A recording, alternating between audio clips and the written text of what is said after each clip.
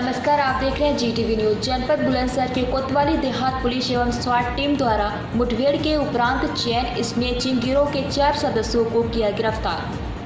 वरिष्ठ पुलिस अधीक्षक संतोष कुमार सिंह ने प्रेस वार्ता कर किया खुलासा। जानकारी देते हुए संतोष कुमार सिंह ने बताया कि चैन स्नेचिंग करने वाले गिरोह के चार सदस्यों को मुठभेड़ के उपरांत चार सोने की चैन 500 ग्राम चांदी के पाउच जेब, अवैध असलाह, मै कारतूस एवं दो बाइक सहित पुलिस ने गिरफ़्तार कर एक बड़ी सफलता हासिल की है।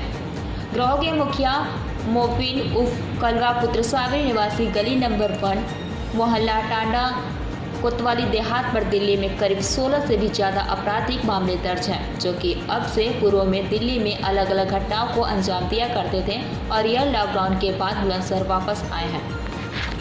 पेश बुलंदशहर से प्रदीप पंडित की एक खास रिपोर्ट। गिरफ़्तार किए हैं। इनका आपराधिक इतिहास क्या था और किस तरह से ये घटनाओं का अंजाम देते रहे? देखिए बुलंदशहर की स्वाट टीम के द्वारा एक बहुत अच्छी कार्रवाई की गई है जिसमें एक अंतर्राज्यीय स्तर का गिरोह है और इस गिरोह के चारों सदस्यों को गिरफ़्तार किया गया है।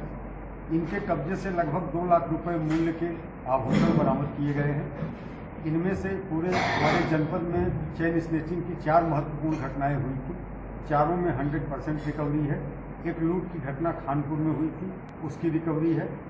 और इसका जो सरगना है मोबिल, जिसके खिलाफ दिल्ली में 26 मुकदमे हैं, हत्या से लेकर के लूट और चोरी के मुकदमे हैं। इसका कहना है कि इसने कई सौ चोरियाँ की हैं, इसे खुद याद नहीं है। इसका दूसरा साथी मौनिस है, उसके खिलाफ नौ मुकदमे हैं, जो बुलंदशहर में हैं, और अगल बगल के जनपदों में भी मुकदमे हैं। तीसरा अभियुक्त कदीम है, जिसके खिलाफ छः मुकदमे हैं। सभी जनपद बुलंदशहर के मुकदमे हैं। सुफियान जो अभियुक्त है, उसके विरुद्ध तीन मुकदमे हैं। उल्लेखनीय ये है कि जो सरगना है मोबिल ये दिल्ली में आपराधिक वारदातों को अंजाम देता था।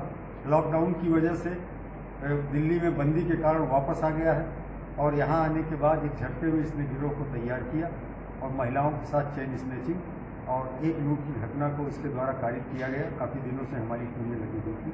काफ़ी परिश्रम के बाद इस पूरे गिरोह की पहचान की गई। पहचान करने के बाद गिरफ़्तार किया गया मुठभेड़ में।